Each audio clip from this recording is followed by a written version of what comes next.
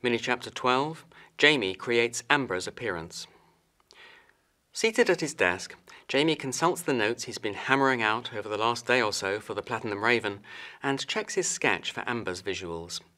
Its first description of Amber's physical appearance reads quote, The man at the far right hand end of the bar.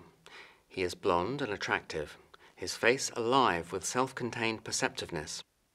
The wide set fluidity of humour in his eyes makes one think of Rutger Hauer in the desert, well equipped through ready charm to hitch a lift. Unquote. Okay then, here he comes. And straight away, there is something about him. It's quality that can't quite be identified until it clicks and is formulated in the mind of the observer, whereupon it can never be forgotten. It seems innocent enough, too, at first, though it can start to feel otherwise upon reflection. And what is this quality? Simply that it's impossible to imagine him with any live siblings, or any live children, or ever having had any live parents.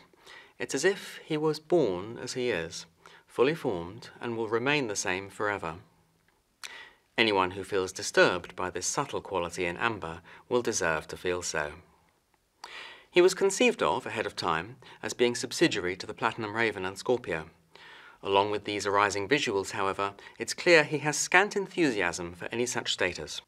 With every glyph Jaymi adds to his code, he can feel a sort of metallic muscularity coming straight through the keyboard, up his fingers, through his hands, through his wrists, and up his arms while he programs, of a kind he has never felt emerging from any code before.